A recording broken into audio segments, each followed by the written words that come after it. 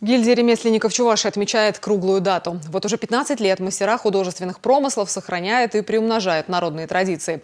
Лучшие из них сегодня чествовали торгово-промышленной палате республики. Здесь, видите, само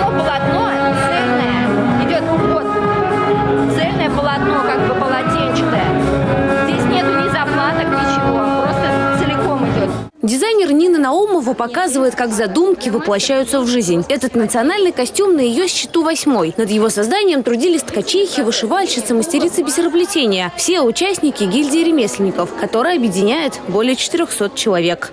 Гильдия мастеров – это как сердце такой большой э, самой ремесленной организации. Любой народ, если он сохраняет свою культуру, он живет, он, он э, живет в настоящем, прошлом и будущем, понимаете? Только творчество, оно развивает человека, потому что в творчестве человек не стареет, он молодеет. Гончарное искусство, озаплетение, ткачество и вышивка. Ремесла в республике живут веками, и с течением времени они становятся разнообразнее. Наряду с традиционными ремеслами э, мастера успешно осваивают и новые направления, такие как фьюзинг, это художественное изготовление изделий стекла, пейчворк, картины из лоскутков, да, лоскутное дело бабушки в старину делали, сейчас это пейчворк, картина, валяние, бисероплетение, художественные изделия из металла, э, ковка, кожевенный промысел. Гильдия ремесленников регулярно организует выставки, создает новые площадки для обмена опытом и реализации продукции. «Город мастеров» – одна из них. Этот проект удалось реализовать при поддержке республиканских и городских властей.